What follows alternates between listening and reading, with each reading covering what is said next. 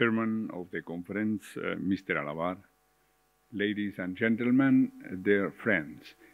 Um, it's uh, enormous uh, moving to be here in this very modern city that is showing us that uh, effectively our time is characterized by uh, those tall buildings and that the skyline of our cities, I think, and this city, I think at New York or Chicago, is, in my modest point of view, eventually one of the most beautiful artistic achievements of our time.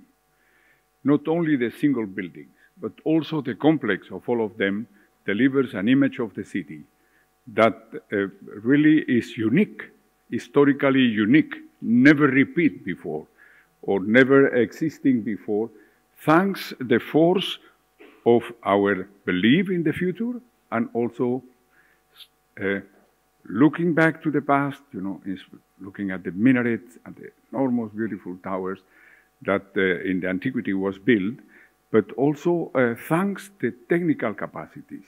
So I structure my, my talk a little bit starting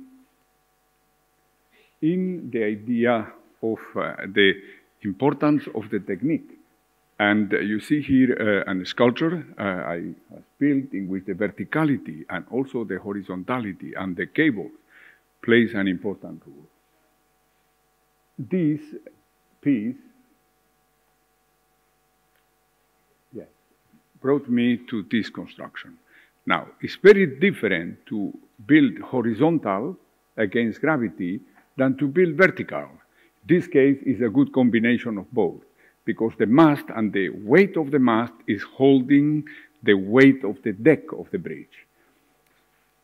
As a pure, uh, uh, um, uh, as a pure, let's say, cable construction, here you see also another combination. It is the arc and the cables also to jump horizontally over a certain span. And here, a very ancient technique, the technique of vaulting, ported here, you know, to a span of 200 meters by a thickness of 1.4 meters. So it's a, ratio never done before. I mean, if you look to the Iraqi vaults or the Sassanid vaults, you know, 2,000 years ago, or the Roman arcs, you see, uh, I mean, things are almost the same, just is the uh, material, the steel, and the technique who help us to go ahead. Here you see another view of the vault capable to hold a whole train. Here also an exterior view. This is my first confrontation with the verticality, the pure verticality. It was for the Olympic Games in Barcelona, I built the Olympic Tower. Here some of my sketches, I thought it has to have something human. We are uh, facing the Olympics, uh, the, the, the, human effort, you see, is the basis. And in a way, you see, I think this question of the tall towers has also something of a sporty, of Olympic, of the force, you know, going like the Olympic lemma. Uh, you see, uh, Fortius, and uh, you see it's even, even higher, you see, and even stronger. so you see here the tower. Here also.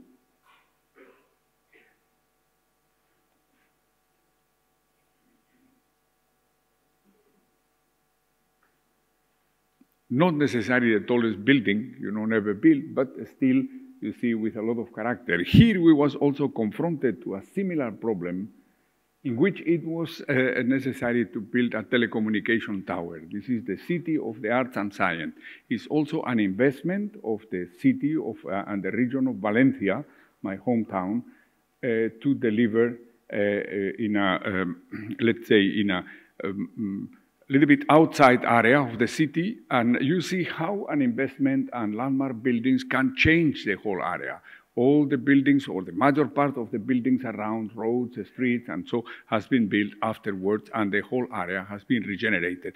Another important effect, you see, of landmark buildings are capable to be the ferment of uh, development and changing also the completely, let's say, the character of the area and letting be one of the most livable places now and more desirable places of the city. In this case, mostly an, a cultural investment. You see with a planetarium, a museum. You see here the planetarium.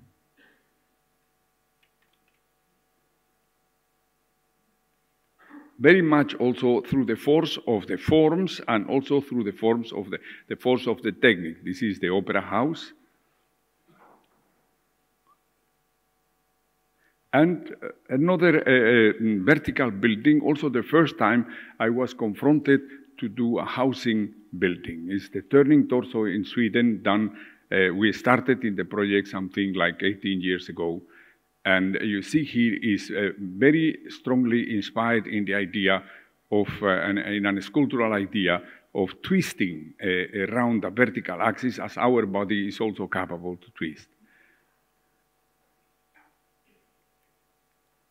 Here, some of the inspiring elements. Myself, also, I have an activity, a very personal, a kind of research activity and a patient activity that I have done all my life uh, uh, working in the plastic and working in the sculpture. Here you see the tower of the turning torso.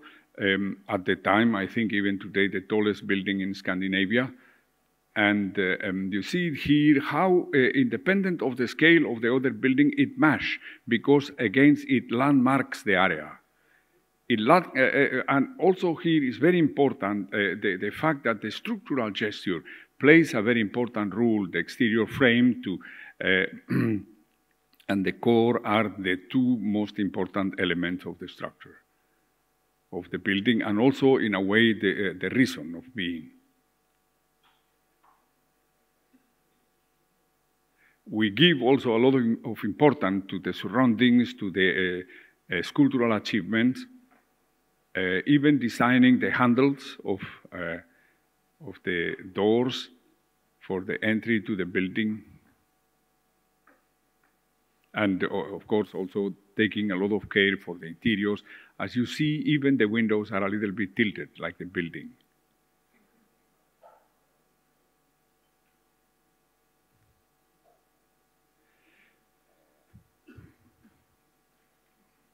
Important is also the relation with the environment. I think it is crucial. You see the way how the landscape and the whole surroundings are articulated to show also this relation between horizontal elements and vertical. Here, another uh, project done for New York in this case. You see it here. Uh, some of my sketches for the interior du duplex apartments and a lot of freedom inside in those cubes. You see here also, and your uh, right-hand side, you see the sculpture who is the mother if you want, of the idea of the tower itself.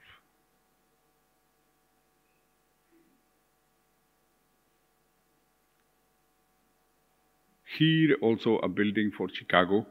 Uh, I mean, I think Chicago is very, very important because eventually the, the quest for, or, or, or the effort you know, is in a way the birthplace of uh, uh, the modern idea of tall buildings. Here you see the spire are projected for Chicago.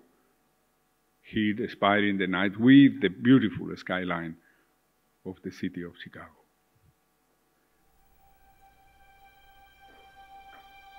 And here there is a video. I hope I am able to show it to you.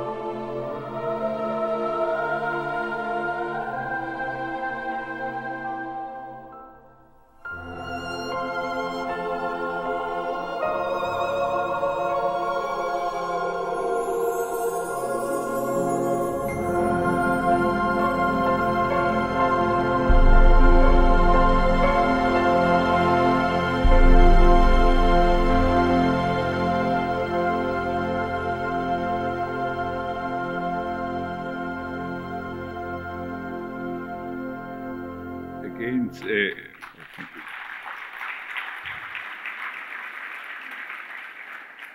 against another sculpture. This is also another one uh, uh, for Chicago, also. Uh, and here you see a series of sculptures exhibited in New York between the high scapers. Um, I think it's important for you to see this jump between plastic understanding and then also technical understanding, as in the beginning with the bridges, because I think between both is the idea of uh, the tall buildings? Here you see the enormous achievement in the reconstruction of Ground Zero, where tall buildings done by extraordinary architects plays a very important role. And then you see this small building, which it is a kind of complement of uh, the overall uh, uh scene uh, of uh, the reconstruction of the skyline in this particular place of a very, very significant place. You see the memorial, and then you see the white building that I has designed, who has something sculptural. Um, when the water is falling in, in a sense of sorrow, the building is uh, exploding up, you know, uh, uh, rising up of the ground in a sense of hope. Uh, and uh, you see here uh, the Path Station, some images, you see the roof is closed, the roof can open and let form the way of life that every 11th of September at um, 9.29 uh, uh, uh, lights in the axis uh, as a kind, as a si silent uh, recall of this, what it happens in the moment when the both towers has collapsed. Here you see it also, this enormous gap who can be open and closed. It has 80 meters span, and it's also an important technical, in my opinion, technical achievement who attract the people, you see, to uh, eventually because there is heating in the soil that they feel comfortable and they take uh, this position. Here is the, uh, the hall of the Path Station in New York. And here the memorial and the building. Now, I would like to speak for a moment about uh, uh, Dubai and recall the words of Mr. Alabbar before um, and it is uh, that, you see, it happens to me, it never happens to me to be confronted to persons and to a client who challenge you to go beyond, to do something unique, uh, to, uh, to develop new ideas, and to put ideas up front uh, that they have never been done before and should show, you know, a desire of being present in the world with this, what we have, uh, um, let's say, as the most, uh, um, um, um let's say, uh, as the most genuine achievement of our time. It is combining technique and expression to deliver a building who should be a sign, but a sign of hope, a sign of belief in the future, not only of this place, but of the whole world. And so these are my sketches generated just out of those conversations and generated out of the, of, of, uh, the, the joy and the honor to be part of something um, important. And each one of those sketches is important because in the conversations appear the desire of making places of gathering where families can come, with kids can play, gardens in which uh, uh, you see not only, let's say, big events like a, a, great concert or things like that can happen, but also places where kids can play football or families can uh, sit in the shadow and mm, uh, generated a complex which it is the center of a new development. When I show Valencia, uh, I, you see, maybe it was for me the first experience in which you see an, an important achievement can generate city can generate city and became the center of it. So uh, I thought, you know, we are in a very wise way, you know, to confront the planning of a city. We define a center with a sign who is not only local, but also uh, um, um, mirrors the previous achievement, you see, which it is the Burj Khalifa Tower, and in a way complements it. You see, complements it formally and also from the gesture. No exaggeration, just the logical consequence of a previous uh, gesture who has requalified and qualified the city and make the sign of the city worldwide. So indeed, this duality is very interesting. You know, you can see it also in places like, for example, Venice. You see the Tower of San Marco, and when you look ahead through La Giudecca, you see San Giorgio Maggiore with a tower who seems to be mirroring the other one. And it makes, you see, that the city becomes cityscape in the city, which it makes San Francisco so beautiful, makes Rome so beautiful. When looking at the city, you can see the city from it. Here you see the, the, the, this extraordinary vision, you know, with the nature around, with the creeks, with, with the, the, the, the bird sanctuary, and uh, here the streets full of people with, and where the tower appears, you see, in a logical, transparent way, uh, uh and then also again, very important that without the technical achievement, it will be not possible. The cables are fundamental to the tower. The mast is fundamental. It's almost like a vertical bridge, you know, to, to, to the sky, isn't it? And you see it here also, the plaza, uh, in which we have worked very, very hard, and we have been also uh, mm, back and forth working with a team of uh, Emaar uh, to achieve uh, not only a very large plaza with more than half a kilometer diameter, but also a human one, in which different sectors, you know, a kind of central park of the new city. This is the the state of, uh, of the works today. We are, uh, the tower is growing and progressing. Uh, in, I have to say, you know, um, this place was a sea, and it uh, a sea during millions of years. So it means, you know, we have had to go very deep with our foundation to, to uh, achieve the stability. And this is what the people will uh, see at entering into the tower uh, uh, at the end of the all the commercial area and the shopping mall will be, let's say, the organic way to arrive to the place, entering into the tower uh, in the center of it, the tower started exactly there. Then, indeed, you know, there is a circle around, and the tower goes through uh, this uh, circle, and then getting up, you see, and particularly because the temperature descends every 100 meters, more or less, of one degree, and even more when you are in the upper 100 meters, uh, it's possible to do gardens inside and create spaces of uh, beauty and uh, not only of uh, beautiful Belvedere, but also uh, places of beauty by itself. Here you see the, the dream of the new development, and I want to express my gratitude uh, to Mr. Alabbar and his team, Emaar, for the opportunity has given to us to work in this extraordinary project.